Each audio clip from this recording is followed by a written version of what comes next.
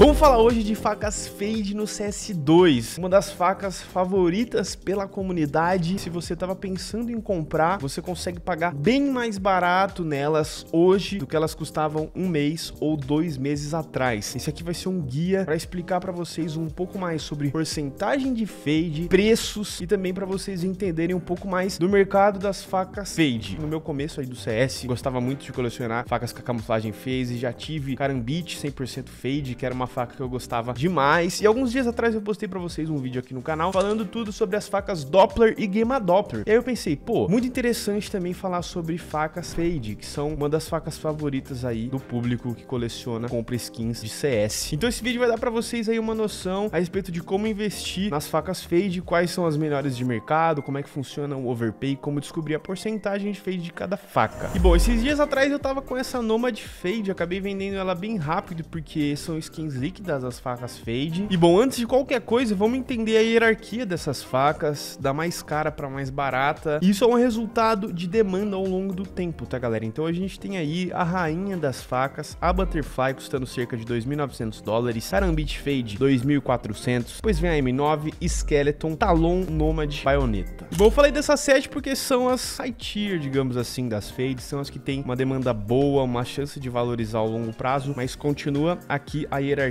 tá? Sendo a mais barata de todas, a Gut Fade, tá? Olhando em Factor New sem Stat Track. A Gut a Navadia pau a pau ali. E reparem que mesmo existindo aqui 13 mil Butterfly Fades versus apenas 6 mil Carambites, o preço da Butterfly acaba sendo mais caro, 500 dólares a mais do que uma Carambite, simplesmente porque a demanda por ela ao longo do tempo foi muito grande e é basicamente o modelo de faca favorito dos colecionadores de skins de CS. Bom, agora que a gente já viu aí a hierarquia e estamos vendo aí que a maioria dessas facas fade desvalorizaram de 20 a 25% nos últimos dois meses, vamos entender quais seriam bons investimentos, quais eu passaria, tá? Eu já posso dizer que aquelas primeiras sete que eu falei, com certeza são bons investimentos a longo prazo, porque as pessoas desejam muito elas. Bom, então vamos dizer que você quer comprar uma faca fade, você quer entender mais sobre a porcentagem, como entender exatamente quantos por cento de fade tem uma faca e como precificá-la. Bom, eu vou passar duas formas de você descobrir a porcentagem fade de uma faca, tá? A primeira é usando essa extensão que eu uso aqui, que é o CSGO Trader Extension. Essa extensão que está disponível aí para os principais navegadores, eu vou deixar o link dela na descrição. Eu só não recomendo deixar essa função aqui da API automática ativada, tá? Eu sempre desativo e não sei porquê, mas ela vem por padrão já ativada. Mas essa é uma extensão confiável, tem mais de 200 mil usuários e eu particularmente acho ela indispensável para conseguir agilizar aí o nosso trabalho de comprar e vender skins. Então, quando eu tenho essa extensão e venho aqui em um inventário, automaticamente, quando eu clico em uma faca fade, ela já mostra aqui para mim a porcentagem exata de fade da faca, tá? Então aqui, ó, se a caramba estiver 97.09% ou se ela tiver 83.5, você vai descobrir exatamente a porcentagem de uma faca, porque basicamente a extensão já vai pegar o pattern e descobrir aí a exata porcentagem, o que acelera muito no processo. Por outro lado, se você recebeu aí uma proposta de alguém e te mandou só uma print de uma faca ou você tá aqui olhando no CS Float e você consegue inspecionar a faca ou consegue pelo menos saber o float e o pattern dela, pelo pattern você consegue puxar também a porcentagem de fade. Então, essa baioneta aqui, que tem o pattern 924, quando eu venho aqui nesse site, broskins.com, que eu uso há muito tempo, e clico aqui nessa aba Fade Checker, eu consigo encontrar basicamente a porcentagem fade de qualquer skin fade do CS. Eu chego aqui, coloco os três números aí desse pattern, né, 924,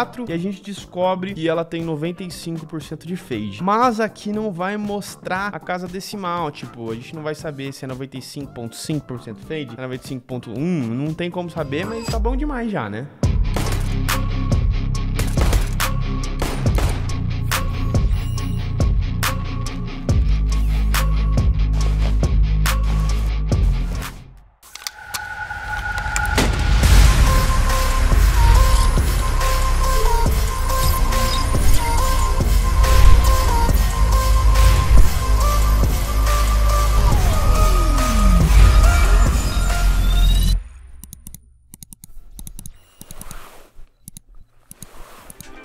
Bom, beleza. Você já sabe a hierarquia das facas fade, já sabe como descobrir a porcentagem. Agora vamos entender um pouco mais dos preços, galera. As facas fade, elas vão até 100% de fade, obviamente, que é uma M9 como essa aqui, e um mínimo de fade de 80%, tá? É o caso dessa M9 aqui. Percebam que ela tem bastante prata ali na base da lâmina, né? E ela é bem mais feia no caso da M9. Já algumas outras facas fade não são necessariamente feias com mínimo de fade. Que é o caso aqui, por exemplo, de uma Karambit fade 80%. Eu acho linda, tá? Eu acho bacana. Esse roxo, né, é bem mais atraente realmente do que aquele prata lá de uma M9 80%, mas uma Karambit fade 100% é bem mais bela, mais rara e obviamente tem um grande overpay por ela. Então, vamos falar agora sobre o overpay da porcentagem de fade e a liquidez dessas facas em geral no mercado, tá? Bom, você vai ter um overpay de acordo com a quantidade de fade da sua faca e esse overpay geralmente começa ali em 90%, tá? Significa de 80% até 90% é basicamente market. Você consegue dar uma snipada ali se você ficar de olho em uma faca que tem uma quantidade boa de fade por um preço normal, por um preço market. Até 90% é possível, tá? E essas são as facas mais fáceis de se vender. De 80% a 90% você consegue vender mais rápido porque você não vai estar tá cobrando nenhum overpay, obviamente. A partir de 90% de fade, você já começa a ver um overpay de 5 a 10% em média, tá? Isso não é uma regra fixa para todas as facas fade, mas é mais ou menos por aí. Acima de 95% fade, você não vai conseguir comprar por menos do que 10% de overpay. Esse seria o mínimo. E já são facas um pouquinho mais difíceis de se vender, digamos assim. Não tão líquidas quanto essas que estão aí de 80% até 90%. E por fim, se você quer a melhor da melhor, creme de la creme, que são as facas 99, 100% fade, que são muito raras, você tá olhando aí para um overpay em média 30, 40%, 100%, que é muito, muito, muito rara, pode passar de 50%